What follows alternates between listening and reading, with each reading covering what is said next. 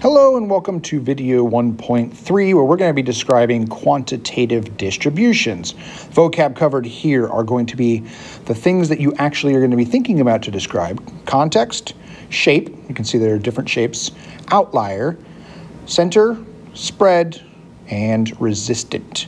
Uh, no calculator maneuvers today because this video focuses in on just describing displays given to you using the new vocab and not so much about finding some of these actual metrics. But I will show you on the uh, formula sheet where you can see these formulas for them just in case you're uh, interested in it. So to get started, we're going to jump right into talking about this acronym I like to use to help me remember how to describe all the components of different distributions handed to me. I uh, say it as CSOCS. Uh, it stands for context, shape, outliers, center, and spread. Now, I start with the context because it's important to get out and it makes your uh, description specific to your data. So you're going to be describing using labels that you see in your histograms that you might be thrown at you um, to help you make your description specific. That's really important. So I usually start all of my descriptions with like the distribution of blank and that blank gets filled in with whatever the label I'm looking at here, blood pressure or price or number of siblings, things like that. The next component is the shape. That's the first thing we like to sort of talk about uh, after context. So what shape are you looking at? So shape can come in sort of two different flavors, okay? Uh, one of the things we like to talk about is how many modes does it have? Uh, you might have heard the word mode previously because it is something that you talk about maybe in like middle school. Mean, median, and mode kind of get sort of grouped together, uh, which makes sense because that's, you know, kind of a way you can measure center. Uh, but we talk about modes more as sort of like humps in this particular case. So like how many humps or peaks does our particular distribution have? Um, so there are sort of just three buckets we like to throw it into that we'll usually see. This very first one we would say is unimodal. It just has that one peak we can see there on the left here. If we are sort of to trace over the distribution like this, we see just one little peak there. But if we were to do that with that middle distribution, we could see that it sort of dips down in the middle, giving us two humps. So we would call that bimodal. And it's possible that you have a distribution that has more than two peaks, trimodal, but you know, those don't pop up too much. I would probably throw those into a, a, just a special bucket I'd call multimodal. Now, what happens if you have something sort of like what's on the right here, where there aren't any like necessary dips or peaks? Everything's just like kind of like at the same height. How do you describe that? I would say that this is roughly uniform. I put a squiggly because it's not perfectly uniform. Perfectly uniform would be literally all of those histogram bars are the exact same height, and that's not going to usually happen if we're dealing with real life data. So what we'll say is that it's roughly normal. So squiggly uh, uh, uniform, sorry, not normal, uniform, um, but we want to make sure that we're uh, being accurate, that it's like, it's not perfectly uniform, it is just roughly uniform. The other way we can describe the shape is talking about sort of its symmetry. Is it symmetric roughly, or is there something else going on here? So this middle one here is roughly symmetric. Actually, it's perfectly symmetric because it's a perfect model, but I will write the roughly because again, real life data will never be perfectly symmetric. Uh, so we do that little squiggly beforehand to sort of signify that. But the other ones are what we would call skewed. Uh, and we want to attach a direction to it. And sometimes it can be a little confusing as to how do you know which way it's skewed. Uh, I'll just go ahead and jump in. This one over here on the left is actually skewed left. How do I know that? The skew is actually in the direction of the tail.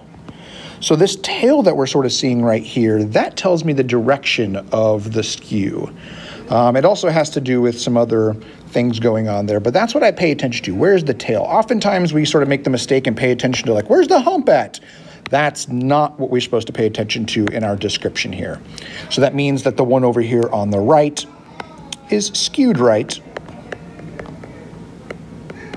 because that tail is on the right, as we can see.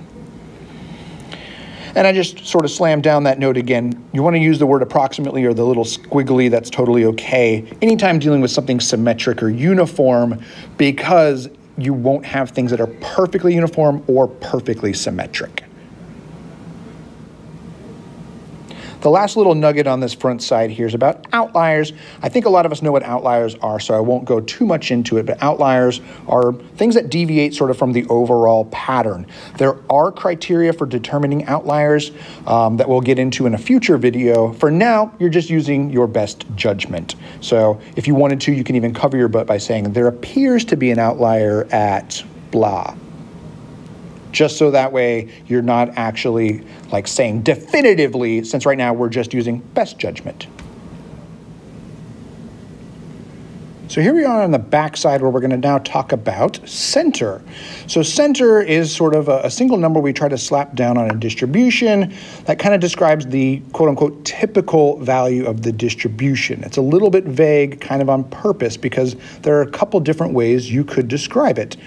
One of the most common ways is a mean. So a mean is the arithmetic average. Okay, that's the one where you, add up all the data points, divide by the number of things, and you get that value.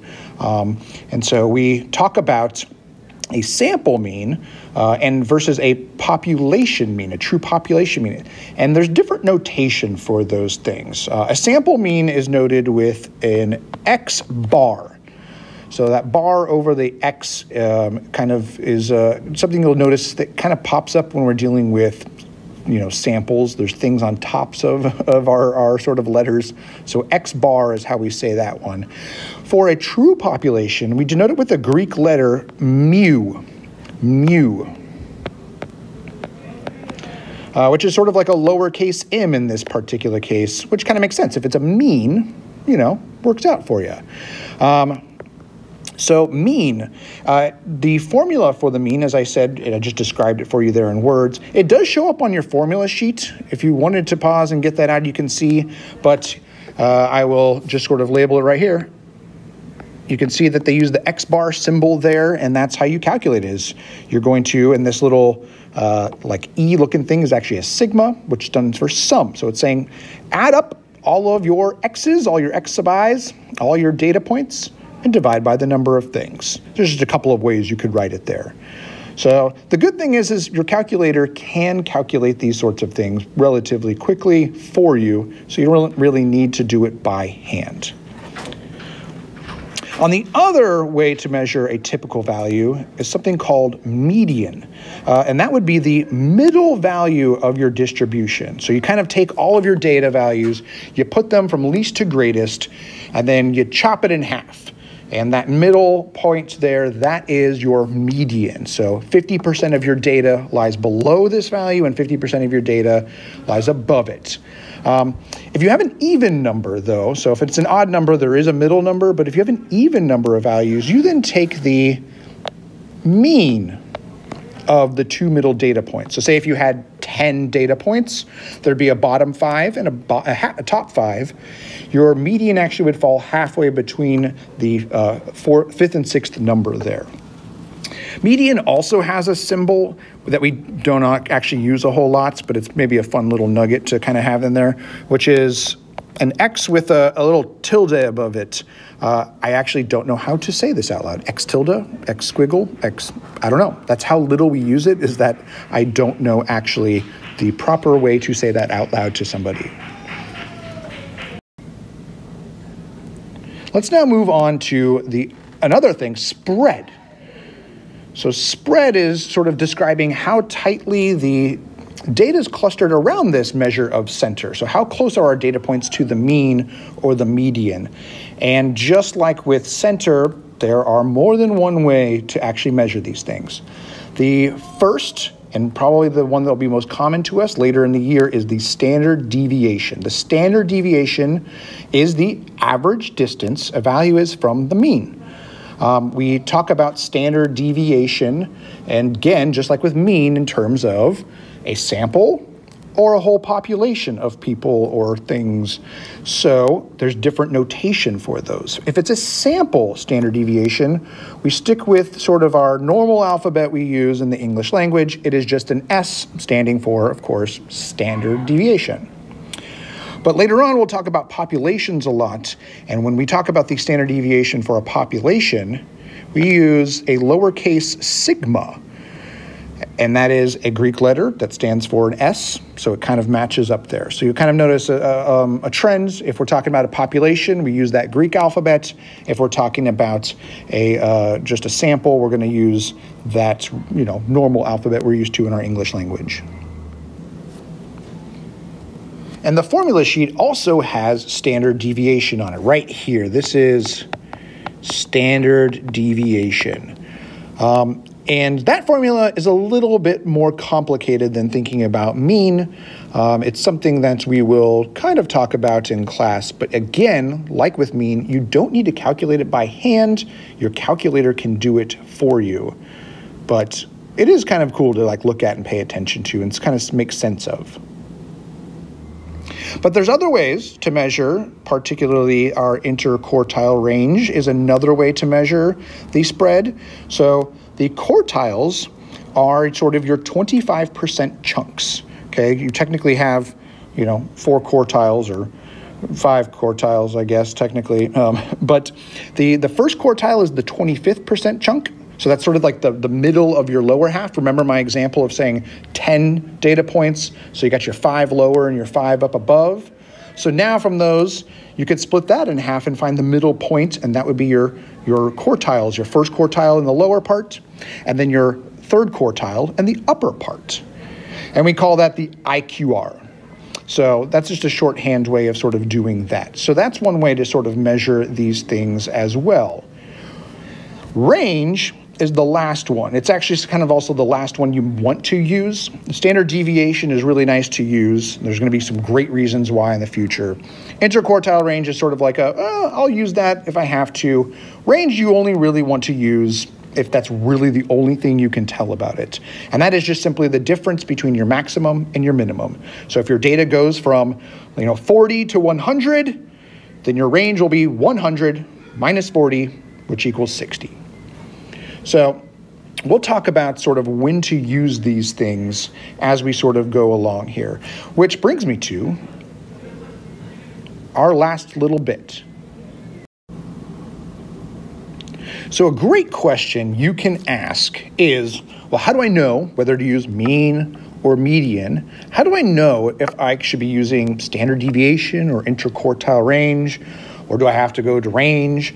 Um, and that has to do with sort of how you describe your, your shape.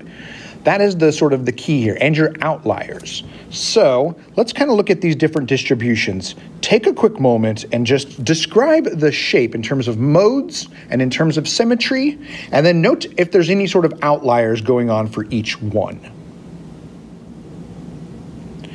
So I just wrote down all of them. Hopefully you said the same things I have here. First one skewed right, next one about symmetric, outliers in that third one, and then bimodal distribution for that last one there.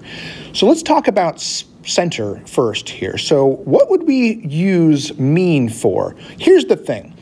Mean is a non-resistant sort of uh, measure of center, okay? What that means is anything uh, the distribution strays from roughly symmetric heavily affects the mean. So because of that, we don't want to use the mean for anything other than things that are roughly symmetric with no outliers. So I would use mean only for that one about the east hallway length measurement. That's the only one I think of these four would be a good one. Well, of the, the first three. Bimodal we'll kind of get into a little bit. So what's the backup plan? If something is skewed, then we go median. Or, hey, it's still kind of roughly symmetric, but I got some outliers. Stick with the median because median are, the median is a resistant measure. So I'm going to scroll back up here really quickly and right next to it, resistant measure. Median is a resistant measure. So outliers and skew don't really mess with it too much.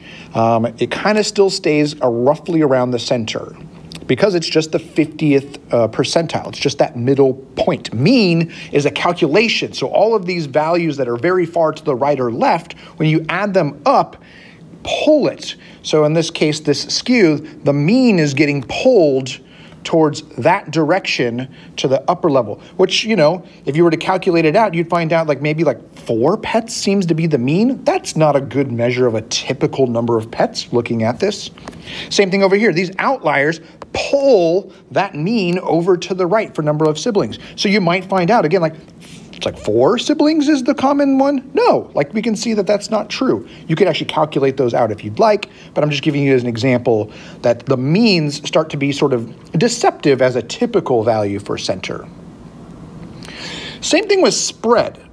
Mean and standard deviation are both calculatory sort of measures, and because of that, we pair them together. So mean, anytime I use mean, I'm also going to use standard deviation, which is only in things that are roughly symmetric with no outliers.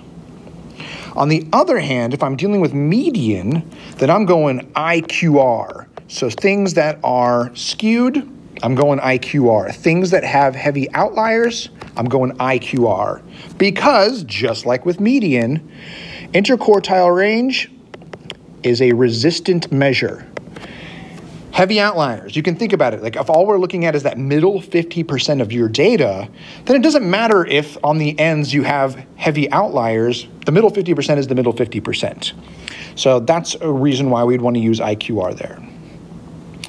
Range, range is also something that's non-resistant. So when do we use it? Only for histograms. If you have only a histogram with no other information, the best you can really do is go, ah, the minimum kind of lies here, the maximum kind of lies there. So here, here's roughly my range. So range is really just the most backup plan. If you're just given a histogram, you just go, great, like I'll go with my range here.